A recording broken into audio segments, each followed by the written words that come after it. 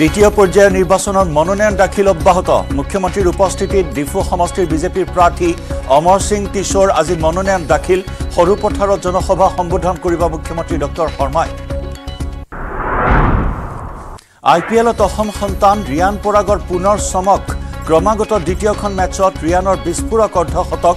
ৰিয়ানৰ চমকেৰে মুম্বাইৰ বিৰুদ্ধে ৰাজস্থান ৰয়েলছৰ জয়। ছিজনৰ সৰ্বাধিক ৰাণেৰে ৰিয়ানৰ দখলত অৰেঞ্জ কেপ।